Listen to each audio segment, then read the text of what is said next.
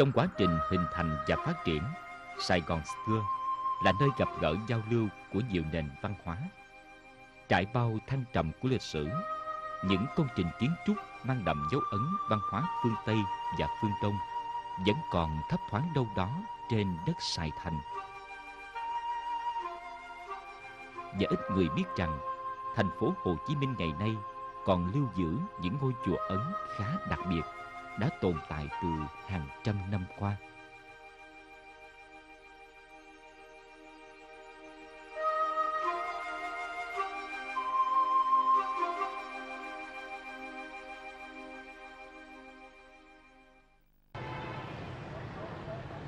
Nếu có dịp đi ngang số 45 đường Trương Định, phường Bến Thành, quận Nhất, chúng ta sẽ bắt gặp một ngôi chùa có kiến trúc khá lạ so với những ngôi chùa Việt thường thấy. Gọi là chùa là theo cách gọi của người Việt. Chính xác hơn thì đây là một trong ba ngôi đền của người Ấn Độ theo đạo Hindu xây dựng còn tồn tại ở thành phố Hồ Chí Minh. Ngôi đền thứ hai nằm ở số 98 đường Nam Kỳ Khởi Nghĩa và ngôi đền thứ ba ở số 66 đường Tôn Thất Hiệp đều thuộc phường Bến Nghé, quận Nhất. Nhìn ngắm các ngôi đền ấn hiện diện ở thành phố Hồ Chí Minh hiện nay, chúng ta không khỏi đặt câu hỏi. Các đền này có từ bao giờ? Người Ấn đã có mặt ở Sài Gòn xưa từ lúc nào để xây dựng các đền thờ này? Tín ngưỡng thờ cúng như thế nào? Trong cuốn sách Những dấu vết văn hóa Ấn Độ tại Việt Nam cho học giả người Ấn Gitesh Sama, nguyên là đại sứ Ấn Độ tại Việt Nam cho rằng ngôi đền Ấn đầu tiên của thành phố Hồ Chí Minh là đền Subramaniam Swami, hay còn gọi là chùa ông, nằm ở đường Nam Kỳ Khởi Nghĩa, có niên đại từ hơn 200 năm. Cùng thời với ngôi đền này là đền Mariamman hay còn gọi là chùa Bà Ấn, ở đường Trương Định. Ông cũng cho rằng như vậy cộng đồng người Ấn đến Sài Gòn từ trước đó. Tuy nhiên, học giả Kitestama chỉ mới đưa ra niên đại chứ chưa đưa ra những luận chứng đủ thuyết phục. Tại đền Denita Sutthapani trên đường Tôn Thất Thiệp, ông Motaza là cháu cố của một thương nhân người Ấn ngày xưa đã có công đứng ra lập đền này. Ông Mutaza cũng cho rằng ngôi đền Denita Zuthapani cũng đã có từ hơn 200 năm trước. Chùa chùa Denita Zuthapani được thành lập năm 1800 do cộng đồng tín đồ, những người Ấn Độ sinh sống tại Việt Nam chùa được xây dựng theo kiến trúc mang đậm sắc thái văn hóa Ấn Độ. Nơi đây, đang thờ Thánh Muruga. Nhìn về quá trình hình thành và phát triển của Sài Gòn xưa, niên đại của những ngôi đền này cũng khó để nhận định một con số chính xác. Chúng tôi đến viếng đền Mariamman, một ngôi đền được nhiều người biết đến nhất trong ba ngôi đền Ấn ở thành phố Hồ Chí Minh. Gặp ông Vương Liêm, trưởng ban quản lý đền, người đã cất công tìm hiểu sưu tầm các thông tin liên quan đến những ngôi đền Ấn ở Sài Gòn, lại cho một ý kiến khác về lịch sử hình thành những ngôi đền này. À, theo tôi à, tìm hiểu nghiên cứu được đó, thì tôi biết rằng à, cách đây trên à, 100 năm, tức là khoảng 150 năm đó, thì trong cái cái cái phong trào mà thực dân Pháp họ đưa người Ấn Độ sang Việt Nam những thành phần lao động đó để coi như là vấn đề họ khai thác thổ địa thì họ cần có những lao động của của Ấn Độ thì có một nhóm người đó họ đến họ ở thì họ ở chung quanh cái phường Bến Thành. Thì ờ, cái ờ, chỗ này đó là những người tập trung những người lao động nghèo.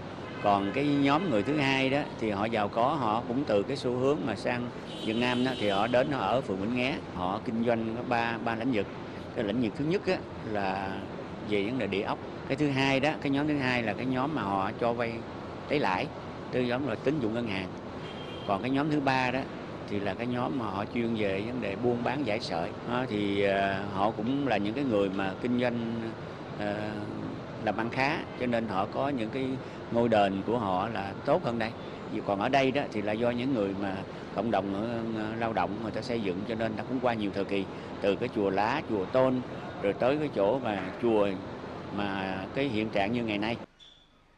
Và ý kiến của ông Vương Liêm cũng tương đối giống với nhận định của thạc sĩ văn hóa Phan Anh Tú, giảng viên trường Đại học Khoa học Xã hội Nhân văn, thành phố Hồ Chí Minh.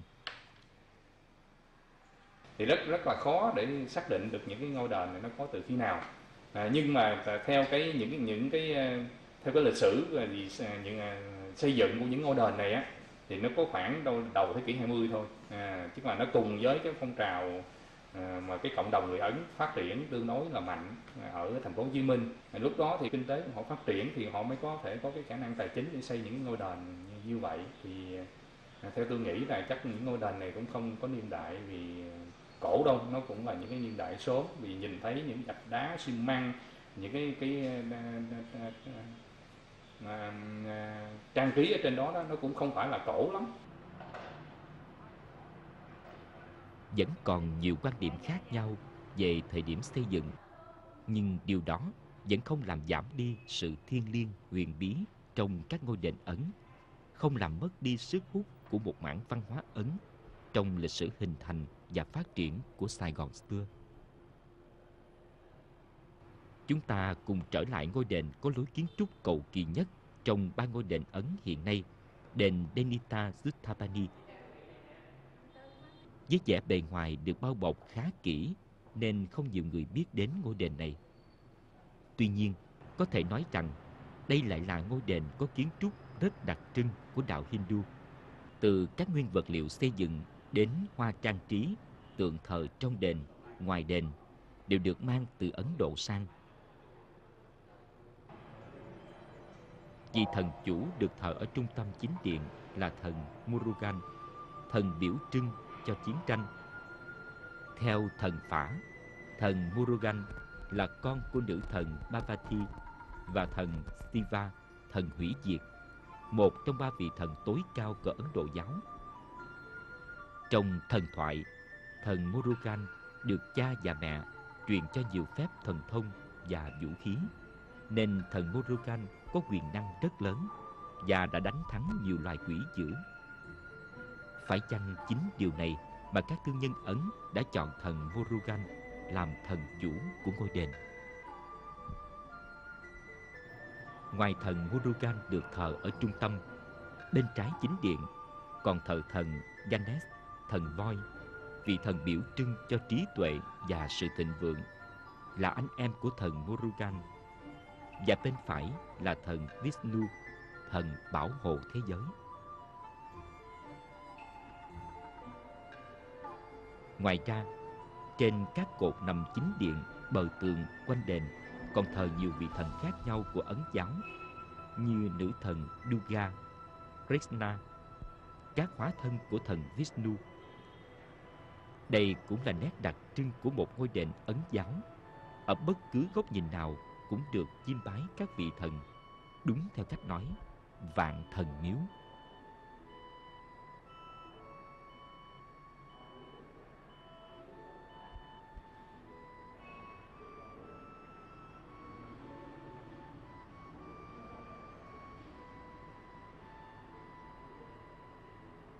Tại đền Denita Suttabani còn giữ được nghi thức cúng lễ khá bài bản của các tín đồ Ấn giáo. Trước khi chuẩn bị hành lễ, các tín đồ sẽ đi một vòng quanh đền làm lễ các vị thần ở vòng ngoài. Sau đó tập trung lại chính điện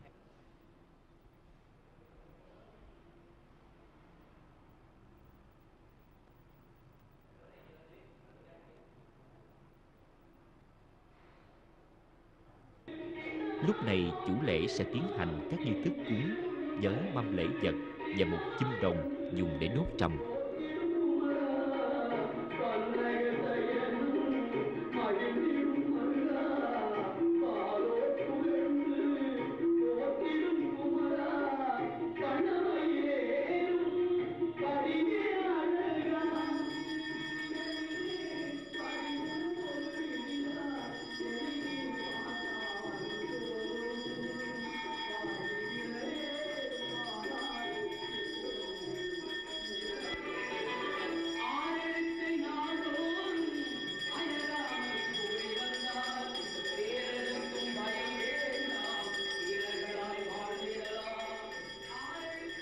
Đền xong, chủ lễ sẽ tiếp tục làm lễ các vị thần được thờ ngoài đền.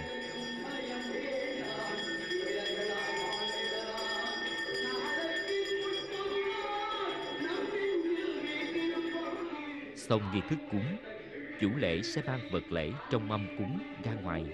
Mâm cúng này thường có đèn, hai lọ phấn, một đỏ, một trắng và một chung nước.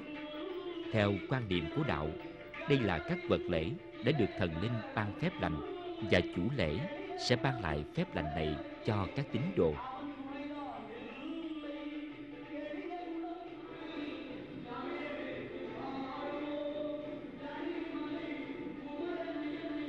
Dấu son trên trán là thể hiện người tín đồ đã nhận được phép lành, điều may mắn từ các vị thần. Tại đền Denita Zuttapani, ngày lễ lớn nhất trong năm là lễ Devide, hay còn gọi là lễ hội ánh sáng theo đúng truyền thống của đạo Hindu. Đền Denita Zuttapani hiện còn lưu giữ một cổ xe ngựa khá đặc biệt, được làm từ bạc, rất tinh xảo. Đây được xem là vật dụng của thần linh, được các thương nhân người Ấn mang sang. Trước đây, trong ngày lễ lớn không thể thiếu nghi thức nghinh thần có nghĩa là tượng thần chủ Murugan sẽ được đặt trên cổ xe này và cho ngựa kéo đi khắp khu vực bến thành xưa với mong muốn ban phát phép lành cho mọi người.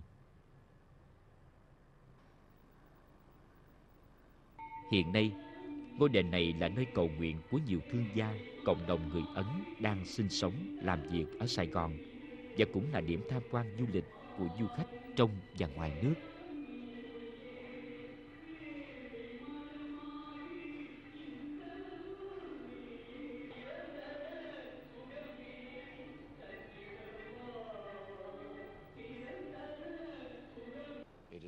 Nice temple and I've been living in Saigon in Ho Chi Minh for about five years. And since the beginning of being in Vietnam I come Trong quá trình hình thành và phát triển, Sài Gòn xưa là nơi gặp gỡ giao lưu của nhiều nền văn hóa, trải bao thăng trầm của lịch sử. Những công trình kiến trúc mang đậm dấu ấn văn hóa phương Tây và phương Đông vẫn còn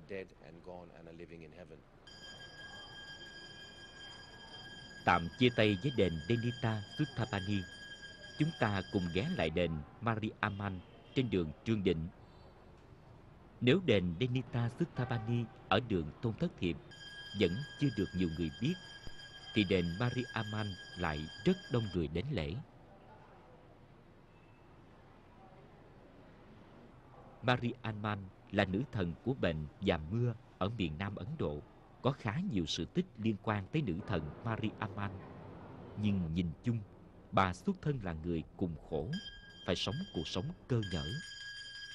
Một sự tích kể rằng bà là một cô gái xinh đẹp, không may bị bệnh đậu mùa, lở loét toàn thân và bị dân làng xua đuổi phải vào rừng sống.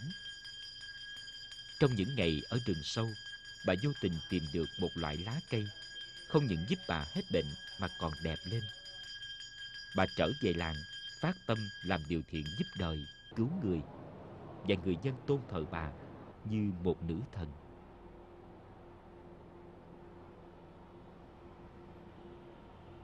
những cái ờ, người Ấn Độ mà từ ở Ấn Độ sang ở Việt Nam thì ờ, họ là những người đa số là ở cái cái cái tiểu bang Tamil của Ấn Độ là ở miền Nam Ấn Độ đó thì ở đó là do cái sự tích truyền thuyết của bà Mariamman như vậy cho nên ở mỗi ngôi làng của ờ, của cái bang Tamil đó, Ấn Độ đó đều đã có thờ cái đền thờ bà Mariamman thì ờ, họ bởi vì họ cho rằng cái bà Mariamman đó là cái người cùng khổ đã hộ đã phù hộ cho những cái người mà lao động những người làm ăn vất vả đó thì có cuộc sống ngày càng tốt đẹp. Nếu mà được tin tưởng cầu nguyện không như thần Murugan, trong thần phả của Bà La Môn giáo không nhắc đến vị nữ thần này. Nhưng Mariaman lại là vị nữ thần thường được giới bình dân nghèo khó thờ theo tín ngưỡng dân gian rất đặc trưng của vùng miền Nam Ấn Độ. Lý giải cho sự kỳ bí này đã giúp cho ta thêm một góc nhìn về văn hóa Ấn Độ trong các ngôi đền có mặt ở Sài Gòn xưa.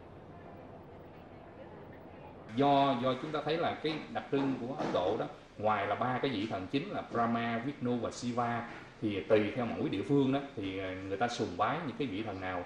Có khi nơi thì người ta sùng bái Shiva, khi nơi thì được sùng bái thần Vishnu, có nơi thì người ta sùng bái nữ thần nhưng mà nữ thần đó lại không nằm trong thần phả của Ấn Độ mà nữ thần địa phương. Thì khi người ta sùng bái cái vị nữ thần đó sẽ tôn sùng mà đưa cái vị nữ thần đó trở thành cái thần chủ tối cao cụ thể như là tại ngôi đền Mariamman ở đường Trương Định đó, thì cái vị thần chủ này được cho là là người mẹ sinh ra tất cả chư thần.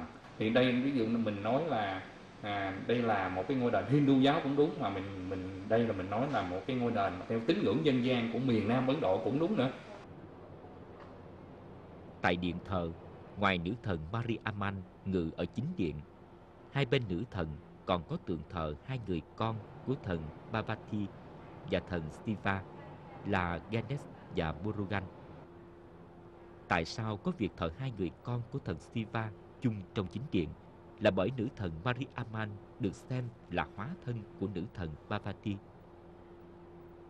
Mặc dù trong thần phả không nói đến, nhưng mọi người đều ngầm hiểu nữ thần Mariamman là mẹ, xuất phát từ phép hóa thân này.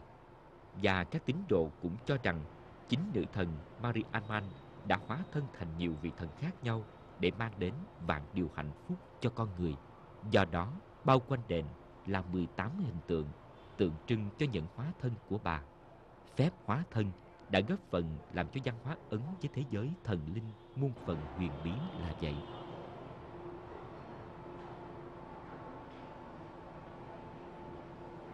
Thì trong trong thần thoại của bà la môn giáo hay là trong thần thoại hindu giáo đó thì quá thân thì người ta chỉ thường nói tới là thần vishnu thôi. À, thần vishnu là có 10 kiếp quá thân. À, trong đó cái quá thân thứ chín thì người ta cho rằng đó là quá thân thành đức phật.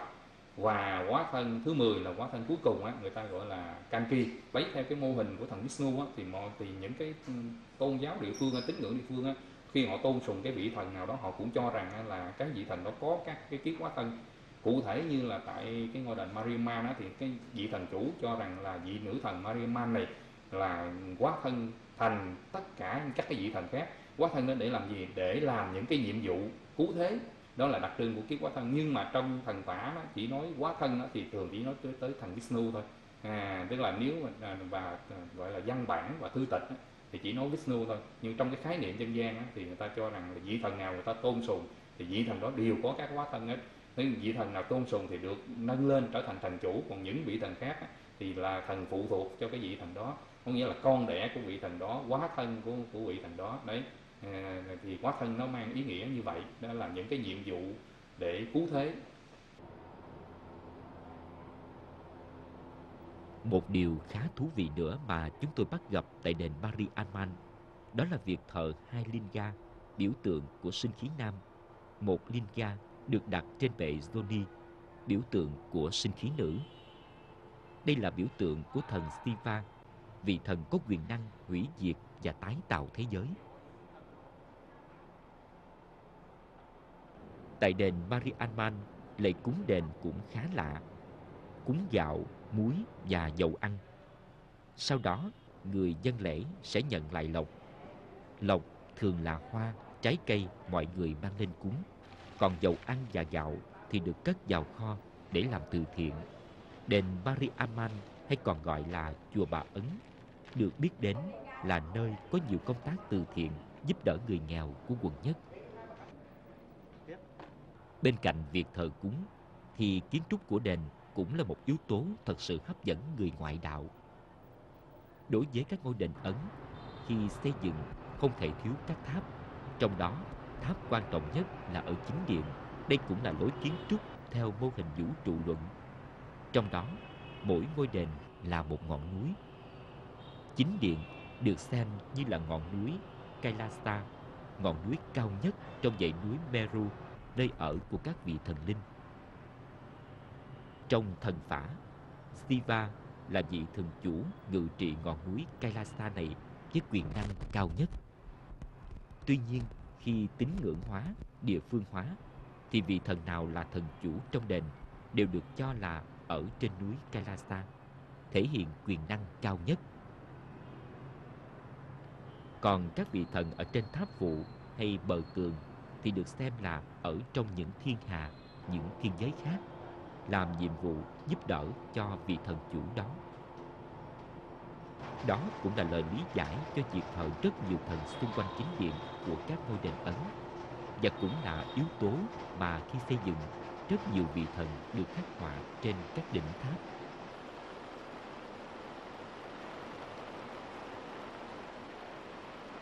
Mình và mình à, cũng rất là hay đi ngang qua cái đường này và thấy uh, cái kiến trúc của cái chùa rất là độc đáo và lạ. Thì uh, hôm nay mình vào đây tham để tham quan uh, và tìm hiểu và cảm giác là rất là huyền bí. À, chùa được à, cái một cái à, có một cái kiến trúc rất là khác biệt so với các chùa ở Việt Nam.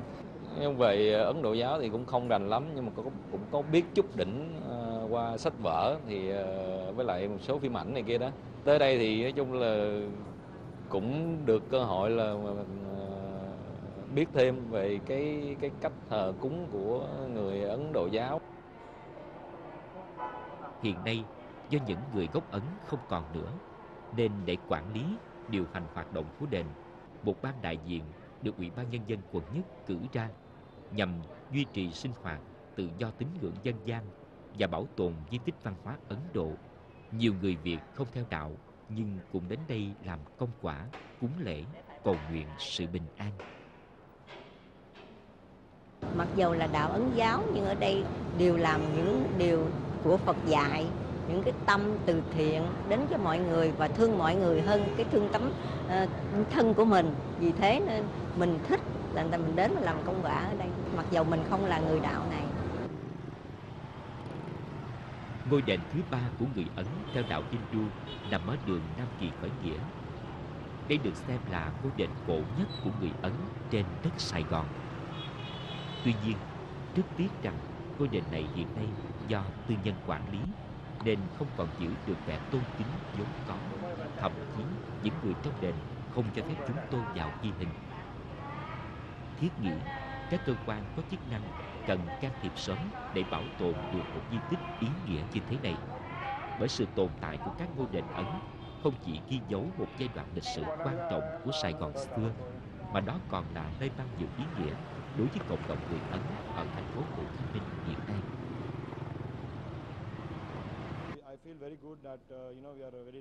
Chúng tôi cảm thấy thật sự may mắn khi ở Việt Nam hiện nay có ba ngôi đền Ấn giáo với trên 100 năm tuổi còn tồn tại. Bởi chúng tôi có nơi để gửi gắm đức tin, lời cầu nguyện của mình trong suốt thời gian sinh sống và làm việc ở Việt Nam. Có những ngôi đền như thế này thật là một điều hạnh phúc đối với chúng tôi.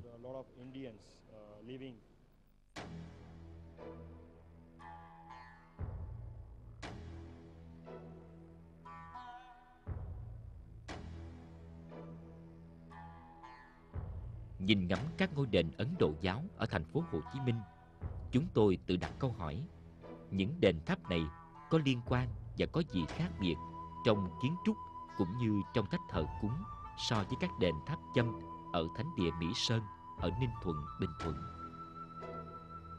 Theo thạc sĩ Phan Anh Tú, văn hóa tín ngưỡng tôn giáo Đông Nam Á cũng như Việt Nam đều có nguồn phát từ miền Nam Ấn Độ. Tuy nhiên, khi sang mỗi nước, yếu tố bản địa hóa theo văn hóa của mỗi dân tộc về hình tượng thờ cúng và kiến trúc. Trong các đền tháp châm, vị thần được thờ phổ biến nhất là Siva và vật thờ phổ biến nhất là Linga. Còn tại các đền thờ Ấn của tín đồ theo đạo Hindu thì thường thờ một con người cụ thể. Và trên hết, có lẽ đó là sự khác nhau của những thời điểm lịch sử.